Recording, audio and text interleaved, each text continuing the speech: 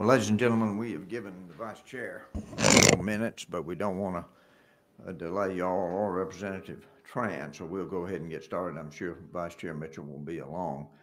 We are here today for hearing only on House Bill 797.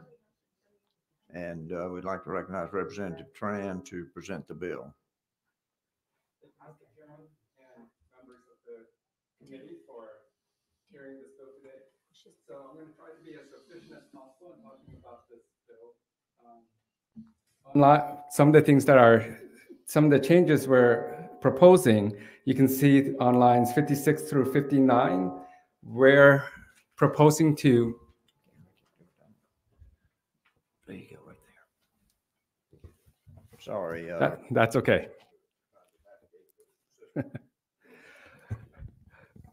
We're proposing to have the cannabis registry cards mailed out to, can you all hear me? All right, I'm going to speak without the microphone. Um, Have the, have uh, the patients receive their cannabis registry cards through the mail. We have a lot of patients, um, and I'll use a personal example. My father had Alzheimer's last summer, and so um, he couldn't get out of our house, and then we put him in a nursing home. And we didn't go through the process, but there were other medicines, other needs that were that we were able to get to him. And so I can only imagine patients who need this registry card having to go to a facility to get the card would be a huge barrier. So for us to be able to mail the cards to them would be a big help to patients who require um, a cannabis, cannabis registry card. The other thing I want to bring up, point out to you is on lines 67 through 71, and this language may change a little bit, is a requirement for patients to visit their physician every six months. Um, we've heard from a lot of people that this may be an economic barrier for them. And so we're considering whether or not an annual visit would get us the data that we would need. As a state, we just don't have the data on the efficacy of cannabis. And so requiring at least a minimum of an annual visit will build the, the data that we need to track the, the growing usage of medical cannabis in our state. Now, from lines uh, 71 to, through 73, we also want to make sure that the dispensaries um, and the physicians are are um, researching. Sorry, I'm missing the word, but uh, when you do drug interactions, right? When you go to a pharmacy, they go through a database to make sure there's no adverse drug interactions. So we want to make sure that we have that in place to make sure that there's no adverse interactions with any existing medication that these patients are currently on. And finally, um, section lines 83 through 87 is certifying is um, prior to certifying any patients pursuant to this code section, a physician shall be required to complete a physician education course established or approved by the board relating or treating conditions with low THC oil, including side effects, adverse reactions, dosages, and possible drug interactions. Such course shall be made available for completion online. We want to make sure that our physicians, um, regardless of which medical field that they're focused in on, is trained to the best possible so that they can properly recommend um, the usage of cannabis medicine. So I know we're short on time. I'm happy to take any questions.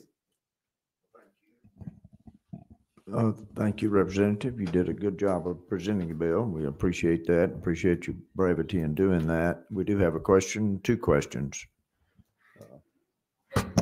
Thank you, Representative Tran. Um, a quick question here about, um, line sixty-seven. A physician shall be required to reevaluate a registered patient at least every, at least once every six months. And you said the purpose of that is so that you can So that track, track the progress of the patient on the medication, the efficacy of the medication, of the, the cannabis medication. Okay. Is there? Right now, we don't have a lot of data on. I, I understand. So, what what is and, and, forgive me for not knowing what what is in place right now in terms of what are the requirements? Are there any requirements these patients be reevaluated or given exams? Um.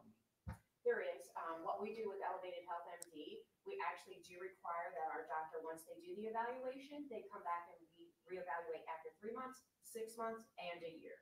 So, to, to your point, sir. Um, is very important that we are establishing that doctor-patient relationship as well as making sure if their medicines change, that we're doing side effects changes. That's huge because this bill is all about supporting people with medicine. And that's, it's, it's extremely important. Right, and if I may, Mr. Chairman, uh, Yeah, follow sure. up. So um, th- the three month, six month, and you said one year? Yes. That, it- it- but that's not in, It's not Co- required. that is your, and again, I'm sorry, do you mind introducing yourself? Yes, Cheryl Faulkner, CEO of Elevated Health MD. Okay. All right, so that is, that is elevated health requirement currently, and you're looking to put this in, in that requirement in code? Yes. We just, we're, we're strong advocates of that because it is important to change the stigma. So to your point, it's not just to get the data and not just get people high, so to speak, but to actually track the benefits of the medical cannabis. Okay.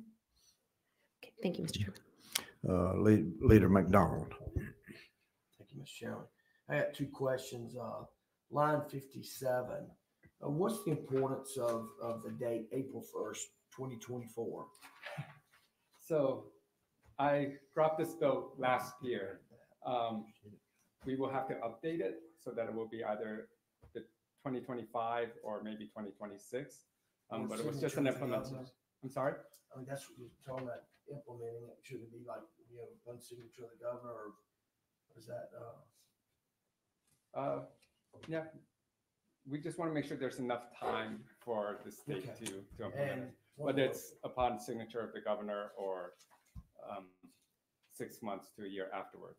Okay, line one Flexibility. twenty-seven. Yep. Uh, no reporter may dis, discharge, threaten, refuse to hire, or otherwise discriminate, retaliate employee regarding employees' compensation terms and conditions. Can you explain that a little bit more?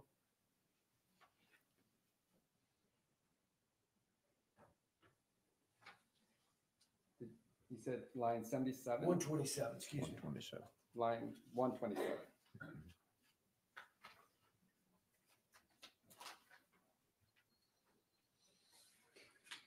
So we want to bring this in line with, say, opioids, where a doctor prescribes a painkiller and you can still go to work. You're not going to be fired for having a prescription for painkillers. We also want to make sure that someone taking low dose THC um, is allowed to continue to work. They're not going to be fired um, for taking cannabis while at work. Now, we will um, follow federal guidelines. So let's say an airline pilot would not be allowed to be taking opioids while they're flying. They would also not be allowed to take um, cannabis, canna, low dose THC. And I, I just, you know, my question dealing with that is, you know, you got fire EMS, Yes. others. I mean, if your insurance is not going to cover an employee because of this, I was just, wo- feel like it should be explained a little bit more in that area. Of, you know, even talking about the guidelines. And I, I'm happy to look into further clarifying Okay, these we'll talk lines. offline. But we just want to make sure that this is brought in lines with how we treat um, prescriptions like painkillers. Thank you. Uh, The chair.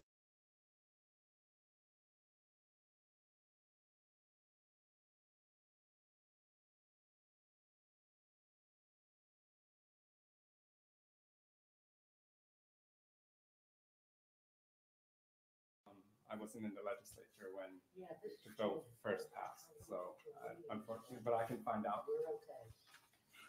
And the second question is related to line 67 through, well, 67 and a few lines down. Um, I would assume, and I know that you said this may change, I would assume that if a person is under the guidance of a physician, um, based on whatever the diagnosis is, that the physician should be taking account on the progress of the cannabis. Um, so you may not have to have it every six months because based on the diagnosis, they may come in once a month. Um, so. the feedback um, I've been given, we're flexible in making that change. We just want to make sure that patients are having that relationship with their physician Um, one, so that we have the data to track the progress and the efficacy of um, the cannabis medication. And one, you know, the, the relationship between a physician and a patient, the better and stronger that relation is, the better it is for the patient. Thank you. One follow-up. Sure. I do think um, that is something I don't think that we really have thought about. You know, if you look about look at the opioid epidemic and how that kind of went uncharted, we definitely don't want this to be in the same category. So thank you for bringing attention to the matter. You're welcome. Chair recognizes Secretary Ehrhart. Thank you. Just one follow-up question, uh, kind of expounding on what Representative Mainor indicated. I just want to kind of clarify.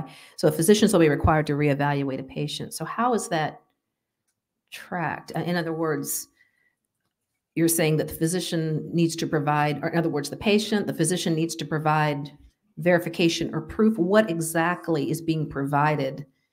Um, a- a- Again, I'm just thinking about privacy, medical issues, uh, your, your organization, or I'm just using you as an example because you're here, you understand?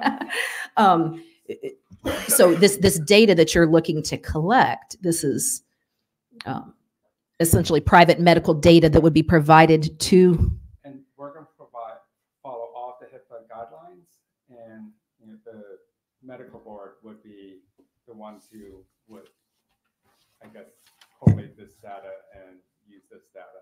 Um, Perhaps you can provide. Currently, if I may, if I may, um, so currently, the way that they are doing it is physicians have to input, when they input a patient, they have to input certain, whether it's patient, um, where they live and all this information. If they would be able to update it in that, where every, you know, they could really track and so that we can have that data, but of course, following HIPAA rules, making sure that patients, you know, sign a waiver saying, hey, we're okay releasing this data so that we can build, um, the research on this medicine.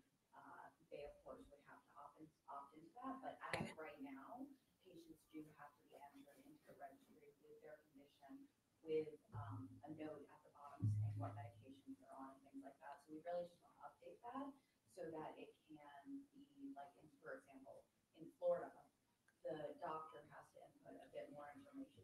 It would be like that, but like I said, of course, we follow HIPAA and they would be, um, it's an opt, it's an opt-in. it is- And you know, when you're, I'm sorry, Mom. and when you're actually, when you're entering it into the state site, there is a part for the waiver part as well, so. Okay. Just to have that being updated, I agree. Thank you for that. Thank you for the clarification. Appreciate that. Uh, Lady McDonald, did you have another question? You have No, one? sir. Okay, thank you. Uh, I, I have a question. Yes, sir. Uh, I was noticing the line eighty-three through eighty-seven. Uh, prior to certifying any patients pursuant to this code section, a physician, physician shall be required to complete a physical education course established or approved by the board. Um, that it can be done online. So this requires any physician to have additional training before they could issue uh, a card. That's, that's the intent. Um, after some feedback, perhaps we need to make this as more of a way to incentivize physicians, because right now, physicians aren't required to have any education on cannabis to recommend medical cannabis. And I think that puts us in a dangerous spot. And so having some form of education, um, I think is needed. Have you had any pushback from the physicians on the requirement for additional training? Not yet. Okay. Well, I, I don't see any other questions. Is there anyone here who would like to speak uh, in favor of the bill? Yes, ma'am.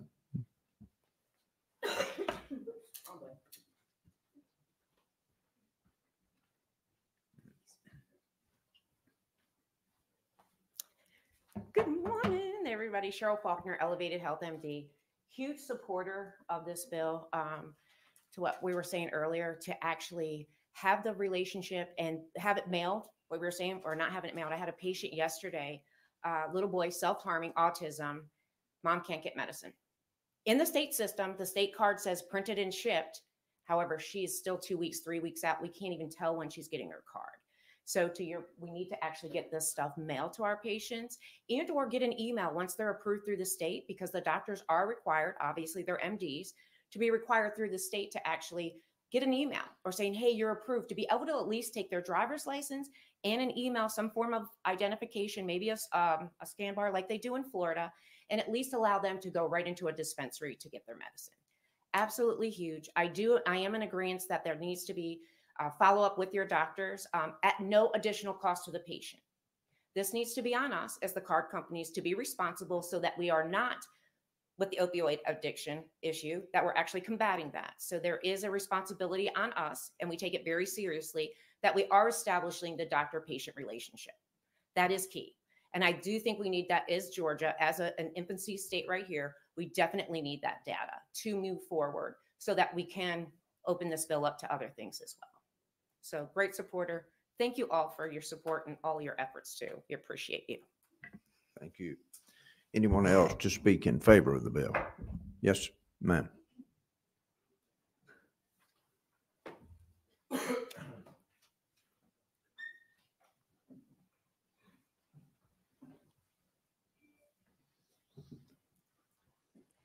Mr. Chairman and members of the committee, I'm Ginny Helms, President of Leading Age Georgia.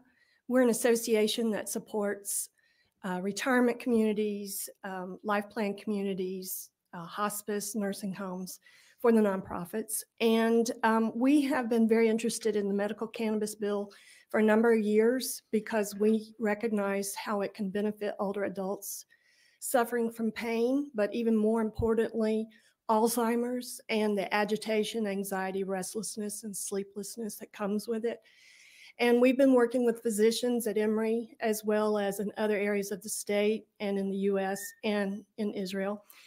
And we think that um, this has a lot of opportunity for reducing uh, other more serious medications like opioids and antipsychotics. So our position is we want to help make it available to older adults. We like the thought that it could be mailed to them versus them having to go to a public health department. The average age that moves into a life plan community is 83. And so helping to have access is very important. Um, my life partner is Larry Tune, a geriatric psychiatrist and neurologist at Emory and I ran this bill by him, and he said that um, the education needs to be limited to like one to two hours, needs to be online, and really needs to have CMEs in order to help other physicians want to do this type of education.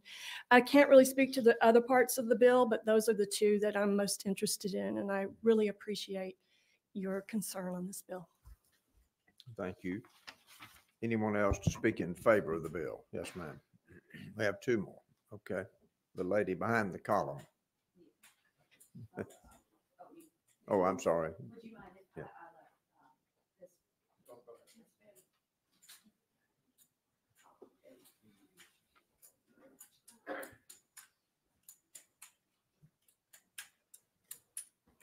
Hello, my name is Yolanda Bennett with the Georgia Medical Cannabis Society. We are a 501c3 nonprofit, and we have been assisting patients navigate through this medical cannabis process from what we were able to obtain from the internet. Our issue has been not being able to find a physician list. We had to go and search for ourselves because this against the law, according to the law, that we cannot have the listing of doctors so that we can provide that for patients. So, but my concern about, this particular bill is the six months. So I don't know if that's considered in favor or against. But the six months, that's going to pay, like she said, basically, if it's going to cost more for the patients, it's going to drive the patients back to the street. And then not just that, the price at the dispensaries. I have a receipt from the dispensaries of how much it costs to obtain your meds. Me and my wife went to botanical sciences and we would have spent almost a thousand dollars for our medications for a month supply for both of us if it wasn't for BOGO. We took advantage of the BOGO, buy one, get one free. And so that being said, that if patients are required to go every six months to an evaluation that's not covered by healthcare insurance, that's going to be a problem. Not only that, you have a whole lot of online pop-up doctors that are popping up right now that are taking advantage of patients. Understand you're supposed to have a direct uh, interaction with the patients from the uh, direct interactions with the doctor-patient relationship. But how are they really and truly? I understand from being sick in a wheelchair and cannabis saved my life. I am a cannabis patient. And then having to have a virtual appointment with the doctor is one thing, but actually see the doctor, but not to have, I've, we've had reports from some patients to call us and say, hey, I called about my card and I missed the appointment when they called me. However, a few minutes later, I I was approved for my medical cannabis card. So it needs to be some type of check and balance with these online companies. I'm all for convenience. I'm all for patients being able to get their cards in the mail, but have having to go to the uh, health department to pick up your card. That's an issue, you know, because you're you're having to actually physically go out. Just like me, I have limited mobility. Also, you're protecting the medical. You're protecting people on their jobs. My issue is with our medical cannabis card, our driver's license number is attached to that in which our driver's license number goes to the DMV. If we already have an identification on our card for the medical cannabis number, why is our driver's license number on there in the first place? Which we're a moving target when we're driving for the drug expertise class, whatever they can identify you of being intoxicated for THC. So we're driving around with our driver's license number on our card, in which basically we're a moving target. So we sneeze on the road, the police pulls us over, and then next thing you know, oh, you're intoxicated. With, we suspect you're intoxicated with THC. If they're going to say that automatically, you're going to see the cannabinoids in my system. So we need some type of protection. The employment is great. I need to be protected when I get in my car. So that's my concern too. So but as far as the bill, every six months is too much. You're going to push patients back to the street market. Okay, Thank you. so as I take it, you're in favor of the bill, but not that provision for an Not that exam every provision. six months, every six months. If you can take the six months out Okay. or provide some type of stimulus to the patients, because if you go all the way back, we've been paying for a medical cannabis card since 2019. What since me, me personally, since 2019, going back for the medical evaluations every six months, so I can go ahead and stay in compliance, mm-hmm. and haven't had a dispensary until last year. So what about all of our patients that are had to be subjected to pay for this card all this month, the evaluations, the added fees? And what do we have? Okay, well, thank you uh, for your, uh, for your comments. Any, someone in favor, in favor of the bill?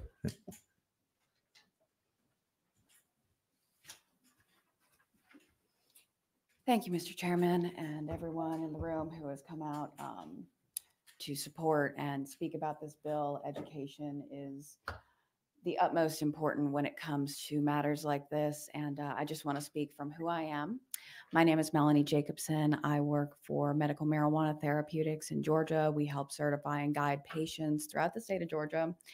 And we have been doing this since 2019. So I've had quite a bit of experience. I'm the cannabis consultant. I work very, very closely with the medical doctor. And so I have seen firsthand, especially what all of y'all have talked about, the accessibility for patients and making sure that this is as safe and as effective as possible. And so what I really would like to talk about first is, you know, what you were just speaking about with this six month rule.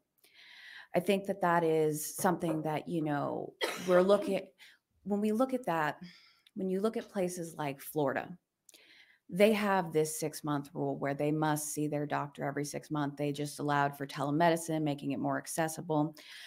The purpose of that, and like, you know, you were just saying, we do not want that to be on the patient. As a, as a medical practice, we do not want that to deter patients or deter anyone from being able to have access to this medicine that changes their quality of life. I mean, when I tell you that I have seen so many patients go from taking 40 pills a day to one, to not being able to get out of bed, to now they can do whatever they would like to do.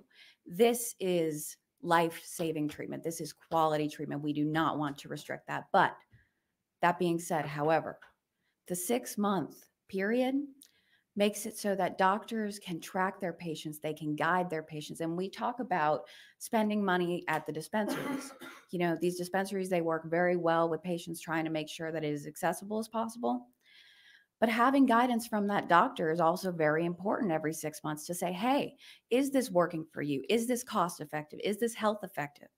And checking in to make sure that they really are able to utilize this medicine to the best of its benefit.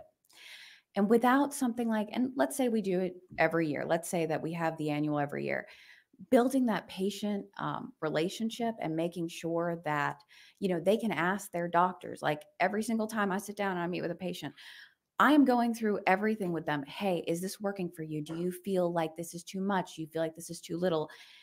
It is a crucial part to monitor them and to get that data because, as you all know, here in the States, we do not have a ton of research on this. Anything that we can get where, like we were talking about with those HIPAA rules, but making sure that we're getting the data will help doctors, will help students. This will make it so that we are making sure we are doing this safe. We are being the leaders in Georgia.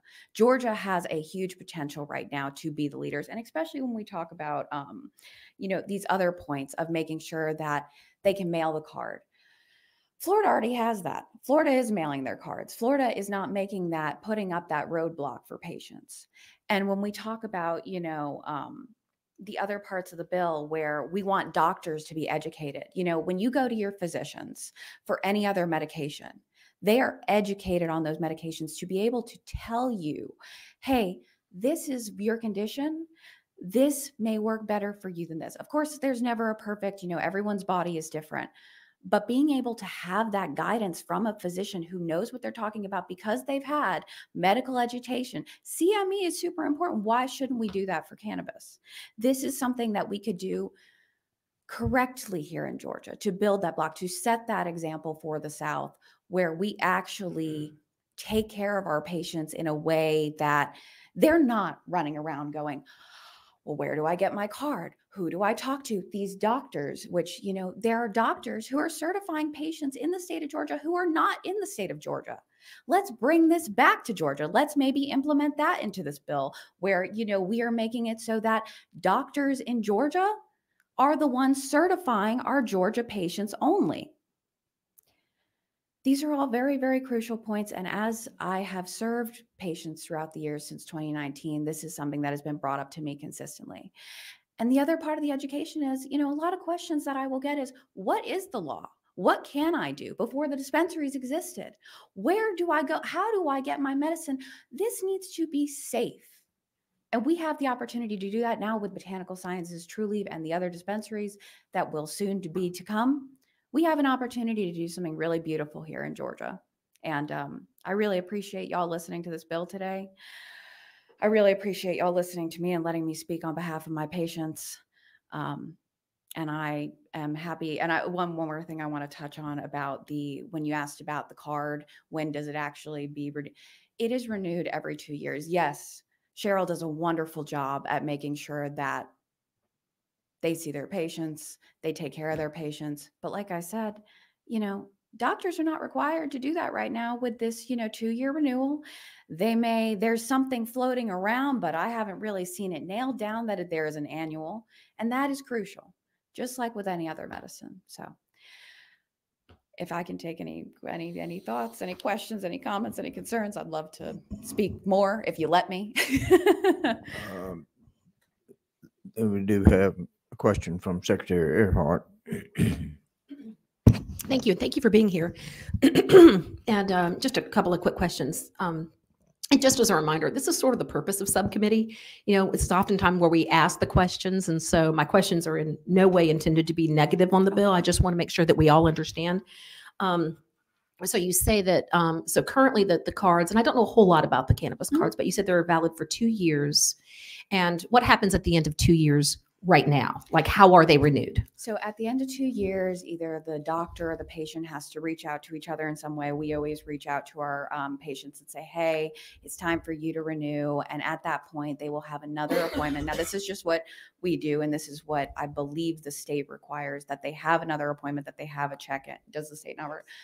Um, that they have a check in and um, that they are, but there's nothing that says they have to look, I mean, they have to look at medication interactions.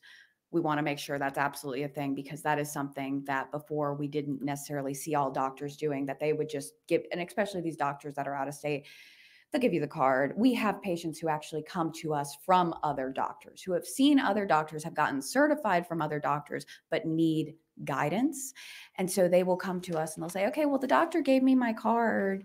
They didn't go over my medication interactions. They didn't do anything else. What do I do? But to answer your question, um, right now they do have that annual visit where they do have to speak with them, but there's no like exact, to my knowledge, Right. regulation on exactly what they need to find out during that Right. appointment. And, and again, I'm just trying to unpack so Yeah, I fully please, please. understand, um, because I, I do know that, um, this wouldn't be necessarily the first time that legislation has been proposed that, um, you know, affects Georgians' lives or, or what they are expected to do, um, with the end goal being to obtain data.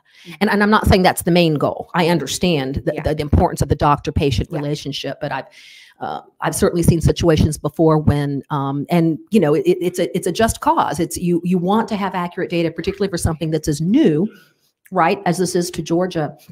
Um, but my I guess my concern or question there would be, you know, are there other scenarios where the state mandates that doctors must examine patients to renew prescriptions? And I'm I'm just comparing this to all other sorts of prescriptions in the state you know, should this not be left up to the doctor and the patient? Should we not be leaning into the doctor's discretion and his discernment and his medical training uh, to be able to determine when, you know, I go in for a, a medication, let's say I need something, and, and he'll say, I'm going to follow up with you in 45 days or four months, or if it's a long term prescription. I guess I'm just wondering about the merit of involving the state to mandate that doctors must uh, perform ex- these exams every six months in order to renew a prescription. I don't know that that's occurred. And I, I, I really appreciate um, your thoughts on this. And as far as, you know, collecting data, the main focus, I believe, here is to make the patient the main focus. And when you talk about, you know, are there medications, other medications where they have to be monitored in such a way?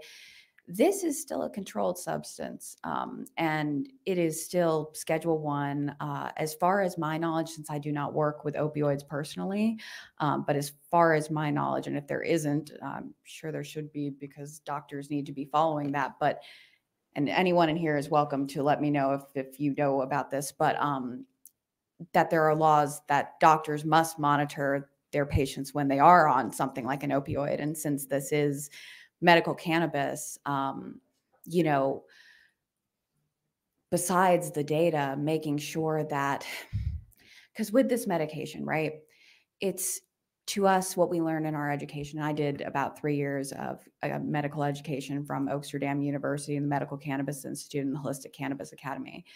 And what we learned during that time um, is that, you know, without this data and without, and I'm sorry, I'm, I'm, um, oh, sorry, um, lost my train of thought there for a second. Um, without this data, you know, and without it being regulated and without us knowing what doctors need to understand is that this medication may not be shown in practice or in research or whatever we do have to be physically addicting, but anything can be psychologically addicting. And it is very important to us that the patients of Georgia are able to utilize this tool, this beautiful tool, in a way that they can actually get the results they need and make sure that we are following that patient. And I just don't think, based on what I've seen since 2019 with patients coming to us from other doctors, that I mean, I hear you yes, we should trust our doctors to have that patient relationship and to follow up. but without it being something that's mandated and i'm not saying it has to be every six months that might be too frequent. You know florida might be doing that too frequently other states that are doing that and there there are quite a few other states that do that. Maybe they are doing it too frequently maybe that's not needed but a yearly visit absolutely needed especially with the unknowns of this medicine if that answers your question fully Thank you. Yeah. Last follow-up, and it's really on the mailing issue. Could this be a, I'm wondering why this wasn't put into the original legislation. Um, Could it be a? I have no idea, I'm speculating, a, a chain of custody issue? uh, That they don't want? uh, uh, I don't know, how many, how many medical cannabis cards there are in Georgia? I don't know, could thousands? Uh, are they- Maybe they don't want them floating around in, in the post offices and through the postal service? I don't. So yes, I, I and I completely hear you on that. Um, upon speaking to the Department of Public Health, that actually you know gives the cards, and just just so that everyone's aware, um, when you speak about like some of these departments of public health are two hours away from patients. Um, and some of them do not have cars and some of them are disabled or some of them are elderly and cannot move and then they cannot get their card. Um, and when you speak about it actually being attached to the driver's license that's interesting because in florida they actually can look up your driver's license card at the dispensary where you wouldn't need the card. So that's something actually to look into as well. But with certified mail if we can have it so that they have to their id has to be checked you know um, why it wasn't put into the law to begin with i think that that was an unintended oversight of just you know they didn't necessarily and i, I i'm speaking from just a place of my opinion i'm not speaking from but upon t- po- talking to dph it seemed like their biggest concern was that um, like you just said floating around we want to make sure that it's certified and if other states can do that if other states can figure that out i'm sure here in georgia we absolutely can as well thank you Uh, Thank you. I, I appreciate uh, Secretary Ehrhart's uh, comments about uh, the, phys- the required uh, physician follow-up. And I was thinking about that relative to other medicines. Mhm. And, and of course, sometimes uh, when my doctor changes my medicine, he'll, he, she actually will say, we want you to come back in in three months and let us do a blood test and see how this is Mhm. going certainly understand that, but it's not mandated uh, by the law that you do that. Uh, also, too, um, of course, with the data and trying to determine the effectiveness of the medicine, et cetera, it sounds like most of the concerns is about the addictive qualities or, or there examples of terrible things that have happened with drug interactions that that you're concerned about? And that may be an unfair question, it's out of nowhere really, but are are there cases where something terrible has happened with somebody doing the low THC medicine as some drug interaction problem? So, as far as my knowledge, and when we're talking about low THC, I think that is a very um, important differentiation when we're talking about cannabis. You know, to my knowledge, and through the education that I've had, and through, you know, obviously working with patients, um, no one, like with other medications like opioids and things like that, people don't die from cannabis. Now, that doesn't mean that there aren't things that could be harmful that we haven't been able to study yet because it's been federally illegal. Um, and when we talk about low THC, I want to make a big differentiation here. So, low THC in cannabis, when you have this plant, the cannabis plant has about 100 to 150 different cannabinoids and terpenes. Most people know cannabis, THC, CBD. When we talk about THC, we talk about studies that have been done, and not necessarily here, but over overseas and things like that. You know, when they're studying this, the THC level is not necessarily at the levels that you're seeing in, let's say, California or Colorado. Those levels are very, very high. Those levels can go up to 99%. We do not have testing on 99% THC over a long period of time. And like I said, it's not physically addicting to our knowledge, but anything can be psychologically addicting.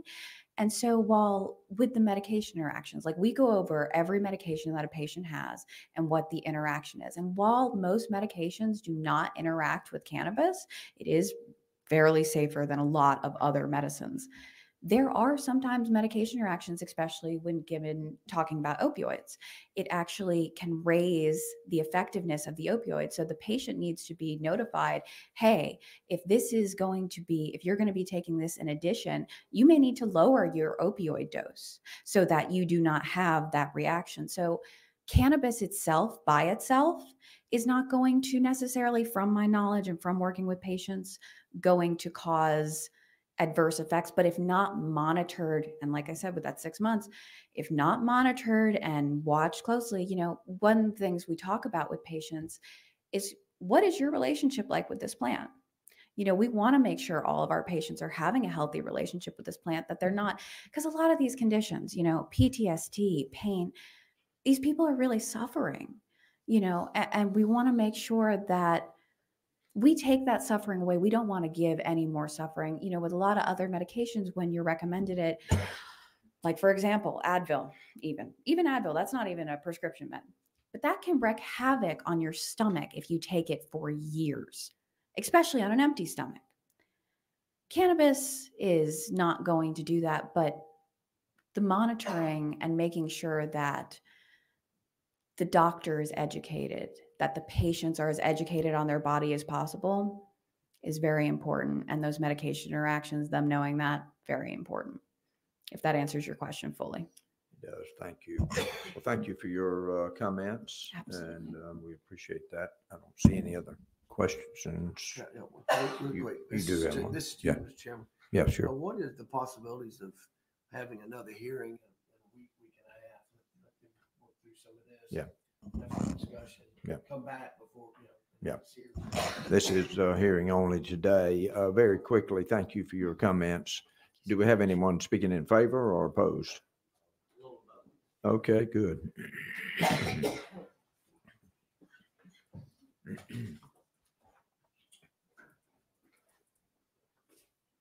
Please make sure you introduce yourself.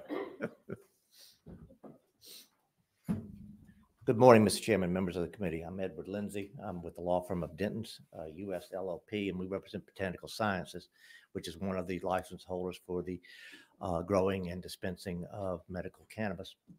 We very much favor uh, the bill in terms of making it easier for patients to receive access to their cards. Right now, there are artificial limitations that, as were previously discussed by others, uh, making it difficult for folks who need the cars in order to get the medication to be able to do so, particularly folks who are having to travel long distances. I do caution, and my client cautions, about trying to step in as a legislature as to how to practice medicine.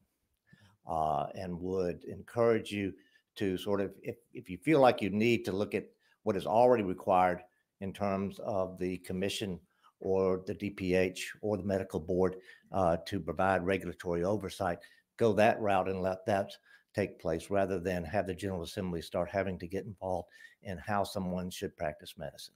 I think that's a dangerous precedent, uh, something that is always difficult for a General Assembly to do, particularly when there are like four different doctors in the entire General Assembly. And that's the only thing that we would add to sort of add that caution. The, the law already sets forth certain regulatory requirements by the commission. Uh, if that needs to be beefed up in any way, uh, allow them to, to, to get involved in that who are looking at the medical issues rather than have the General Assembly start having to try to prescribe how someone practices law, uh, rather practices medicine uh, with their patients. That's my only concern. Thank you very much uh, for those comments. Uh, Is anyone else who, who, we have had a lot of testimony in favor of the bill, of course. Is anyone who wants to speak in opposition to the bill? Okay, well, I don't see any other questions. I think that will conclude our hearing. This is hearing only. Um, Representative Tran, I met with Chairman Powell yesterday afternoon to discuss your bill. And uh, we are doing a hearing only today, but I will get back with him and we will, uh, we will be in communication with you about it. Thank you for the bill and thank you for your hard work on it. And uh, sounds like that it uh, certainly has some good things in it. And so we will, uh, we'll take the next step. So thank you. Thank you all for being here. We are adjourned.